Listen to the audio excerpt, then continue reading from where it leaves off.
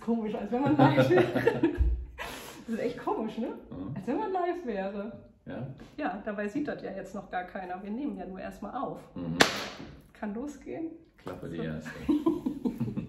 So, komm, mach erstmal die Begrüßung. So, hallo ihr Lieben und herzlich willkommen auf unserem Kanal. Ich sage ganz bewusst jetzt auch unseren Kanal, weil ich habe es ja schon so ein bisschen angekündigt. Ich habe den YouTube-Kanal noch mal ein bisschen aufgemischt und überarbeitet und wie ihr ja auch im Banner gesehen habt, heißen wir jetzt Die Tschutschen. Die Tschutschen. Die Tschutschen. Chefchenkos. Mein Freund. Seht's ihm nach, er ist noch aufgeregter als ich. Ähm, ja. äh, denn äh, Großes steht ja an, aber dazu gleich. Ähm, ich habe euch ja gesagt, ähm, ein großes Projekt steht für uns an und äh, das möchten wir euch dann auch heute hier auf dem Kanal erzählen. Aber erstmal, ihr Lieben, wenn ihr jetzt in Zukunft hier auf dem Kanal nichts verpassen wollt, dann abonniert ihn doch gerne und aktiviert auch die Glocke. Da würden wir uns auf jeden Fall freuen. Klingelingeling, genau. Weil demnächst wird hier einiges passieren. Es wird mit Sicherheit spannend und ich merke, ich habe echt Puls, ne? Weißt du das? Also erhöhten Puls habe ich ja Gott sei Dank. Du auch? Ja, ja, ein Stück weit schon, ja. Man ist echt aufgeregt, Mhm. ne? als wäre man auch live gerade irgendwie drauf. Ja, Ist ja auch ein, ein spannendes Projekt. ja stimmt. Ne? Wir Mhm. haben jetzt äh, wirklich Großes vor und sind auch sehr gespannt, äh, wie ihr reagiert und was ihr zu dieser ganzen Thematik sagt. Aber wir freuen uns jetzt drauf. Mhm. Ne? Also ich freue mich jetzt auch richtig drauf, das zu erzählen, oder? Ja. Ja. Ja, und wir hoffen ja auch, dass alles soweit äh, klappt und gut geht und dass es dann auch wirklich starten kann. Richtig. Mhm. So, ihr Lieben, lange habt ihr gerätselt und jetzt ist der Moment, dass wir Die Bombe. die Bombe platzen lassen, genau. Und zwar werden wir umziehen. Wir ziehen um. Tada, tada, tada. Mhm. Ja, äh, tatsächlich. Ähm, ja, wo fangen wir jetzt an? Am besten vorne, ne? so zum Erzählen. Mhm. Jetzt denken die direkt wieder, die Chevchenkos, was machen die denn jetzt schon wieder? Ziehen die aus dem schönen Haus da Ja, aus und um? Ja. Ist es ja, ist es Ja. ja. Aber ja, manchmal muss man was Großes loslassen, um vielleicht noch etwas Größeres äh, zu bekommen, so gefühlt. Also was man erleben möchte, das muss- meine ich jetzt nicht äh, auf das Haus bezogen, Nö. aber äh, was man halt so erleben möchte. Meine Ähm, größten Geschenke haben wir ja bekommen mit die Jonah. genau. Danach die Jungs nach einem etwas längeren und harten Weg. Und irgendwie danach kamen viele Gedanken und man hat sich überlegt, was könnte man noch erreichen wollen, verändern Aber wollen. eigentlich haben wir ja auch schon während des Kinderwunschs damals manchmal so ein bisschen über Plan B ja auch Mhm. nachgedacht, weißt du? Da hatten wir ja schon so manchmal überlegt, was, was können wir machen, äh, wenn das jetzt vielleicht auch mit dem Nachwuchs nicht klappt, was haben wir vielleicht noch so für Träume und Ziele? Ne? Mhm. Da haben wir ja immer so, so ein bisschen darüber nachgedacht, was könnte man dann in seinem Leben nochmal so verändern, um das auch zu bereichern, um sich weiterzuentwickeln. weiterzuentwickeln. Ne? Ähm, hat man Träume und Ziele? Ich meine, bin ja, ich bin ja jetzt eher so der kreative Typ ne? und fühle mich super gut aufgehoben in dem, was ich tue. Mein Buch, was ich letztes Jahr geschrieben habe, die Arbeit als Content Creator, ähm, all diese Dinge, das, das, das ist ja sowas, was mich erfüllt. Und, äh, und du Ich habe ja auch einen tollen Job, Ja. ähm, aber eben immer noch mit so ein paar Ambitionen, die auch nochmal weiterzuentwickeln Ja, und richtig, äh, genau, neue ne? Felder zu entdecken und neue Impulse irgendwie äh, für sich selbst auch setzen zu können. Ne? Also wer es jetzt nicht weiß, Norm ist ja Bauberater bei einer ähm, renommierten Fertighausfirma, genau. Genau, Mhm. richtig, seit, seit vielen, vielen Jahren. Hat auch ganz am Anfang mal vorab, also ganz früher war er Eisläufer, sind wir zusammen Eis gelaufen als Paar. Er hat mich dann schon übers. Eis getragen, genau. Und dann irgendwann ähm, durchs Leben äh, angefangen zu tragen. Und ja, dann eben, als Jonah geboren wurde, ne, Mhm. hast du dann den Immobilienmakler hier gemacht und dann ähm, hattest du dich damals bei einer Fertighausfirma Mhm. beworben und dann ging es eigentlich los und da hast du ja jetzt Über zehn Jahre. Mhm. über zehn Jahre, ne? Mhm. Jetzt äh, warst du schon erfolgreich tätig da. Und ähm, ja, während des Kinderwunsches haben wir auch eben manchmal überlegt, ne, was, ja, was könnte man eben noch machen oder erreichen? Oder wie Mhm. könntest du dich auch in dieser Branche noch ähm, Weiterentwickeln. weiterentwickeln? Und äh, äh, vor allem wo? wo? Mhm. Wir tasten uns immer so ein Das Stückchen. spannend. Gott. ich kriege ich hab Glühe, wirklich. Ja, vor allem wo. Nur, nur wegen mir. Nur wegen dir. Du bist jetzt schuld. Ja, das. Ähm, ja, wo kann man sich weiterentwickeln? Und äh, damit lösen wir das nächste Stückchen des Rätsels auf, Mhm. ähm, wohin es für uns geht, wenn wir denn umziehen. Also so viel können wir jetzt schon sagen, wir ziehen nicht nur innerhalb Deutschlands um. Es geht ein bisschen weiter weg. total, aber mein Herz schlägt gerade total doll. Äh, Das werden wir euch dann mal auch in anderen Videos. Wir haben euch noch wirklich viel zu erzählen. Also es lohnt sich, den Kanal zu abonnieren. Wir Verrückten, das sind die, die Tschetschenkos, wir hätten das eigentlich anders benennen müssen. Ne? Naja, gut, das wollen wir jetzt nicht sagen. Wie bekloppt wir Die bekloppten Chaoten. genau, ist unser Zweitname. Äh, Und Chaos ist a friend of us. Das, das passt auch.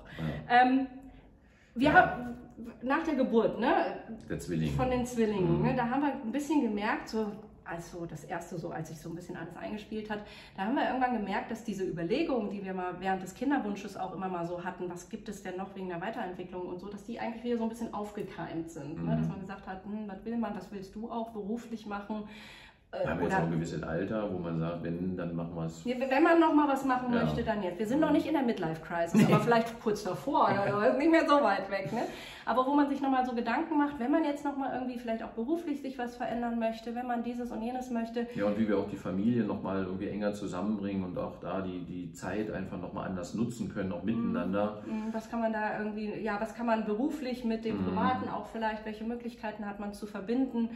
Ähm, die, diese ganzen Gedanken, die kamen ja eigentlich so nach der Geburt dann so langsam nochmal bei uns auf und irgendwann spricht man natürlich darüber ne? und dann hatten wir eigentlich relativ schnell die Idee gehabt, weil wir da auch Freunde haben, ob es... Ja, und uns da ja auch wohlfühlen und Mhm. irgendwie das Leben ja auch dort irgendwie lieben. Ja, wir waren ja oft da in der Vergangenheit, in, der, Mhm. in der ganz weit zurückgelegenen äh, Vergangenheit. Da hatten wir dann überlegt, wohin zu gehen? Nach Florida.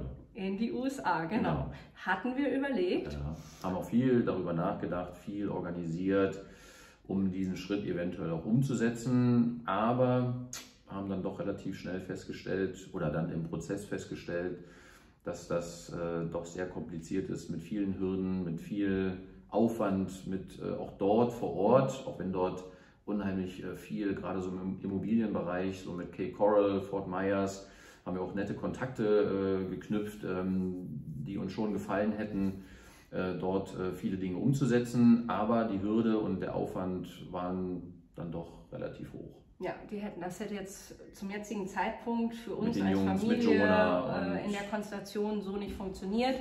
Das ist auch gar nicht so einfach, ne, Mhm. darüber zu kommen und ähm, äh, gerade in dem Bereich, wo du was machen möchtest, da kann man sich auch nicht einfach so selbstständig machen oder Mhm. man wird da nicht auch nicht einfach so gesponsert, äh, Mhm. indem man angestellt wird. Ähm, also da wären viele Hürden gewesen. Wer sich so ein bisschen damit schon auseinandergesetzt hat, der weiß es vielleicht. Ne? Meistens geht es über so ein Business-Visum, Mhm. darüber zu kommen. Da muss man halt ein eigenes Business machen. Aber dann hätten wir wahrscheinlich was anderes machen müssen, als wir eigentlich machen wollen. Und das hätte uns dann einfach erstmal im Weg äh, gestanden. Ja, und da wollten wir auch einfach frei sein. Also wir Mhm. wollten für uns die Dinge ja selber in die Hand nehmen und äh, wie gesagt, die, äh, ja, der, Aufwand dafür war doch äh, am Ende zu hoch. Ja, man sagt ja auch immer so ein bisschen, Schuster bleibt bei deinen Leisten. Mhm. Und du bist ja eben in dieser Baubranche und in diesem Immobilienbereich, Mhm. bist du ja jetzt schon ganz gut verwurzelt und auch erfolgreich und kannst was. Und da wäre das schon sehr interessant gewesen Mhm. damals, also als wir darüber nachgedacht haben, eben in, dieser, äh, in Florida, Cape Coral passiert unwahrscheinlich viel gerade. Mhm. Ähm, aber wir hätten das alles erstmal nicht so machen können, wie wir uns das halt gerne gewünscht. gewünscht hätten. Ja. Genau. Mhm. Mussten wir so schweren Herzens eigentlich von dem Projekt, ähm, Traum war schon ein kleiner Traum. ja, und von diesem Traum, ja, mussten wir dann wieder, also mit der Vernunft kann Ja. man eigentlich auch, eigentlich Ein auch sagen, Abstand ne, dass man wieder Mhm. ab. Klar, man kann ja immer alles probieren, wer mutig ist. Und wir haben auch gesagt, wenn wir jetzt irgendwie, ja, ich glaube, wenn wir irgendwie zehn Jahre jünger Mhm. wären, noch kein, keine Kinder hätten oder vielleicht nur eins, irgendwie was Kleines oder so, Mhm. dann hätte man sagen können, ey komm, dann geht man vielleicht rüber mit irgendeinem so Business, dann guckt man erstmal, dann guckt man, ob man da hinkommt, wo man Mhm. hin möchte und so spielt noch dreimal mehr in der Green Card Lotterie, gewinnt dann irgendwann in der Green Card Lotterie Ja.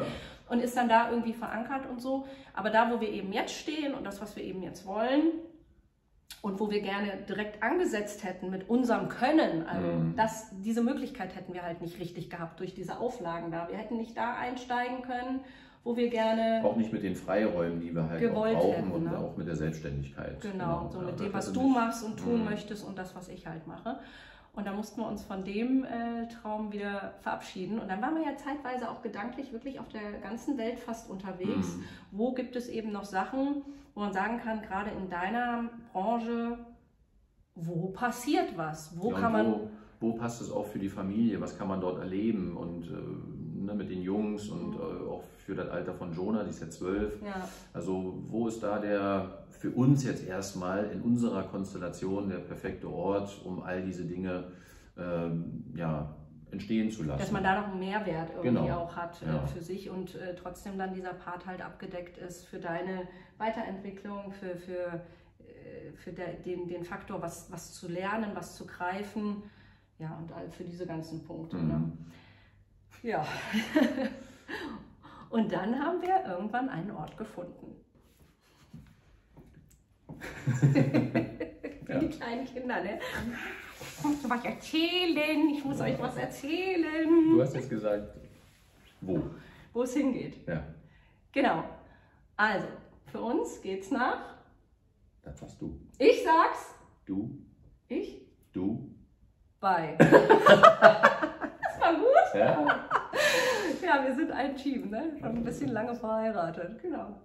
Es geht nach Dubai Mhm. für uns. Äh, Wir ziehen tatsächlich nach Dubai. also alle Dinge sind in die Wege geleitet und Das ist total krass, ne? Mhm. Und wir freuen uns äh, total auf dieses riesige Projekt. Mhm. Ähm, wir waren ja kürzlich da, wisst ihr ja, wieder mal äh, Mhm. in Urlaub, ähm, im April jetzt noch. Und äh, da waren wir natürlich nicht nur am Strand, müssen wir ehrlicherweise gestehen, sondern wir haben auch so ein bisschen Business gemacht und äh, haben auch Dubai nochmal von einer ganz anderen Seite kennengelernt, auch viel privater Mhm. kennengelernt. Und, ähm, ja auch mit vielen Leuten dort gesprochen, die dort Ja. äh, leben, sei es deutsche Leute Mhm. oder andere, die auch schon sehr, sehr lange dort äh, in Dubai leben. die auch aus der Branche halt kommen, aus der Mhm. Baubranche kommen, aus der Immobilienbranche kommen. Du hast schon so deine ersten Kontakte geknüpft, Mhm.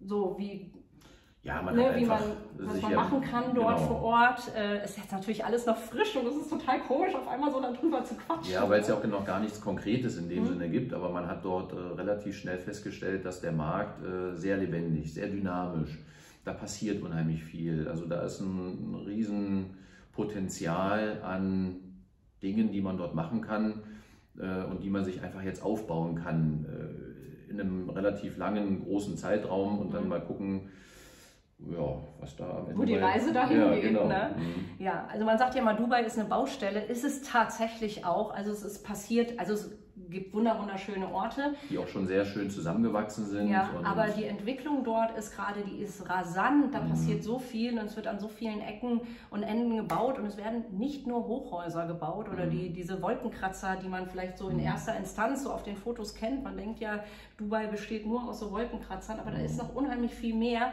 Gigantische Projekte, die ähm, Schöne Wohngebiete, sehr schön Wohngebiete, eingewachsen. genau, die, ja. die weit über dieses, wir ziehen mal einen Wolkenkratzer hoch Mhm. hinausgehen. Äh, tolle Bauprojekte. Und das ist natürlich dann, wenn man aus so einer Branche kommt wie Norm, unwahrscheinlich spannend und interessant, wem man da wie über die Schulter gucken kann, bei Mhm. welchen Projekten man mitarbeiten kann, Ja, wir haben auch man. viel erfahren, wie Dinge dort funktionieren. Auch das war sehr äh, interessant. Ähm, ja, Was du schon in den acht Tagen eigentlich mitgenommen hast. Ja. Ne? Das war ja, also ich fand das ja auch spannend. Ich habe da immer so ein bisschen mitgehört und so. Und äh, danach stand eigentlich unsere Entscheidung Naja, sie stand fast fest. nicht ganz fest. Nicht ganz also wir haben uns fest, schon okay. noch mal zwei Wochen irgendwie Mhm. danach äh, Zeit genommen und haben auch wirklich viel hin und her überlegt, ne? weil man macht sich ja Gedanken, wie, wie funktioniert das mit Jonah, mit der Schule und was uns eigentlich äh, so ein bisschen, ja, wie soll man sagen, so, so oder was für uns sehr aufregend war, äh, auch diese ganze Zeit dort als Familie, wie man dort lebt und Mhm. wie man das vielleicht dann auch miteinander alles äh, verbinden kann. Und irgendwie waren wir dann ein bisschen. Da hat man dann ein gutes Gefühl, ne? weil Ja. wir im Vorfeld so lange überlegt haben, wo, wo ist der Ort, Mhm. wo man eben sagen kann, das sind noch Träume und Ziele beruflich Mhm. und das wären auch Träume und Ziele für uns als Familie. Ja, wo man Und- einfach die Dinge miteinander verbinden kann, was Mhm. kann man dort alles erleben. Und irgendwie haben wir uns da so ein bisschen drin verguckt. Ja, wir Mhm. haben uns da äh, wohlgefühlt in Ja. der Zeit und hatten so dieses beide dann eigentlich, und wir sind ja Bauchmenschen, kann man Mhm. sagen, dieses Bauchgefühl, das ist zu unserer jetzigen Lebenssituation, Mhm. was in ein paar Jahren ist, weiß man nie. Wussten wir vor ein paar Jahren auch nicht, wussten Ja, auch nicht, ob wir, wir, wir haben auch nie gedacht, dass wir eineiige Zwillinge bekommen. Ne? Also you never know, was manchmal so irgendwie kommt, aber Mhm. wir sind schon Menschen, die auf unser Bauchgefühl hören und das hat sich jetzt irgendwie richtig angefühlt Mhm. und ähm, ja, für uns als wir Familie. Nee, wir passt es. sitzen. Wir sitzen. Noch sitzen wir, aber es gibt jetzt auf jeden Fall viel, viel zu tun äh, in der ja, in, in der nächsten Zeit, in den kommenden Wochen. Und ähm, bei diesem ganzen großen Projekt von uns, Mhm. äh, von uns äh, als Paar, als Familie mit unseren Kindern, ähm, da wollen wir euch jetzt gerne mitnehmen und deswegen freuen wir uns auch, wenn ihr ähm, jetzt neugierig geworden seid, wenn ihr vielleicht diesen Kanal abonniert, die Glocke aktiviert, dann seid ihr auch immer auf dem neuesten Stand. Äh, auf Instagram findet ihr uns, mich natürlich auch. Ähm, ich freue mich auf jeden Fall jetzt auf, ähm, auf vor allem auf die nächsten Wochen. Es wird bestimmt auch turbulent und chaotisch und mal schauen, was es alles zu tun gibt. Aber wir nehmen euch, wenn ihr möchtet, gerne dabei mit.